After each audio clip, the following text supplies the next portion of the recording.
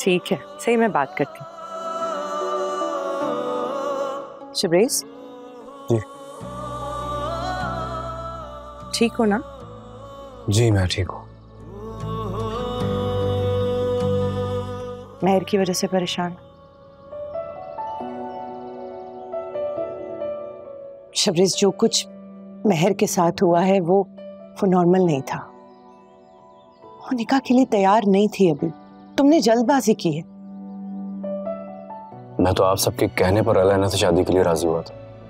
फिर अचानक मुझे पता चला कि मेहर की तलाक हो गई है। मुझे लगा किस्मत ने मुझे एक मौका दिया है। मैं ये मौका मिस नहीं करना चाहता था। क्योंकि अगर मैं अलैना से शादी कर लेता तो मैं मेहर से कभी नज़रें ना मिला पाता।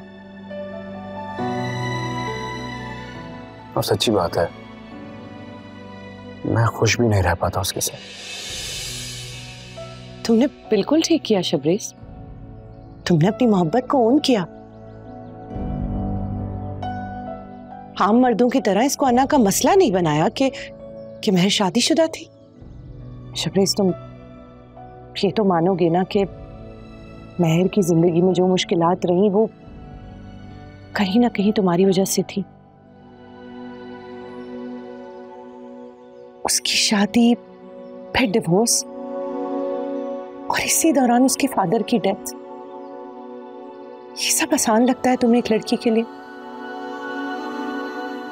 अब उसे तो ऐसा ही लगेगा ना कि उसकी ज़िंदगी में जो भी परेशानियाँ आ रही हैं उसकी वजह तुम हो। हाँ लेकिन आप तो जानती हैं ऐसा कुछ नहीं है। मैं हमेशा से चाहता था कि मेहर मेरी हो जाए। दिल से चाहता था मैं। जो कुछ भी हुआ। हमारी तरफ़ से बहुत गलती हुई है। पहले तो आंटी रिश्ता लेके जा नहीं रही थी। और जब लेकर गई तो खैर, मेहर बहुत मुश्किलात से गुजर कर तुम तक आई। अगर उसे ऐसा लगता है कि ये सब तुम्हारी वजह से हुआ है तो तुम्हें तुम्हें उसका एतमाद जीतना होगा शबरेज भाभी, मैं मेहर की कसम खा के कहता हूँ कि मैंने कुछ नहीं किया।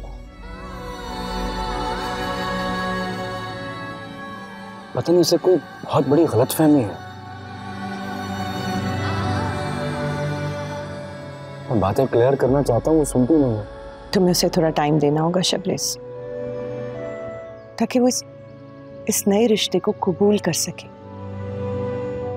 अभी तुम जो भी कुछ करोगे ना, वो सब तुम्हारे खिलाफ ही जाएगा।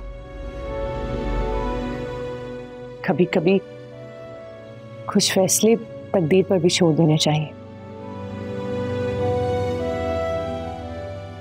महल बहुत अच्छी लड़की है। तो यकीनन वक्त के साथ तुम पर भरोसा करना शुरू कर दोगे। ट्रस्ट में